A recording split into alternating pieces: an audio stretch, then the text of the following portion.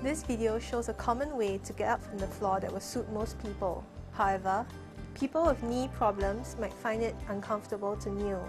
A physiotherapist or occupational therapist can teach you other methods to get up after a fall.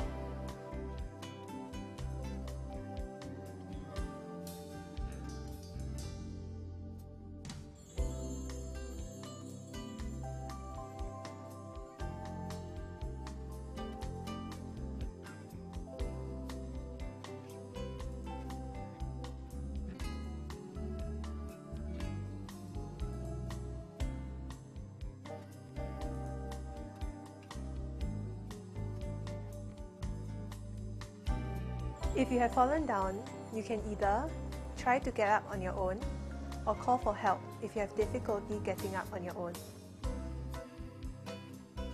When getting up on your own, you should calm down, catch your breath, and compose yourself after the initial shock.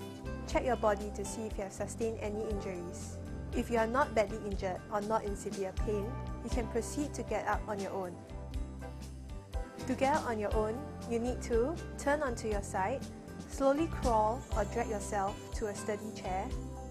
Ensure there are no obstacles around you that might cause you to fall again. Look around for a sturdy piece of furniture, preferably a chair. From a kneeling position, hold onto the armrest or seat of the chair for support.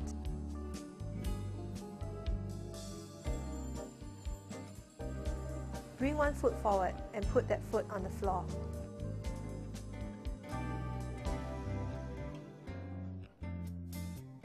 Slowly push up with your arms and legs.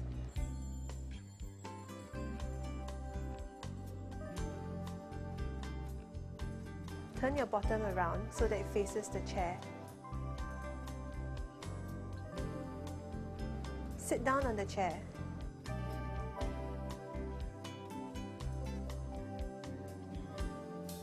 Rest before trying to move. Remember to rest at any time when trying to get up from the floor on your own. If you do not succeed the first time, rest and try again. After a fall, it is important to talk to your doctor or other healthcare professionals, such as a nurse or therapist, about your fall and the possible causes. You should also inform a family member, friend, or neighbor. A physiotherapist or occupational therapist can teach you other methods to get up after a fall and also exercises to regain your strength and flexibility.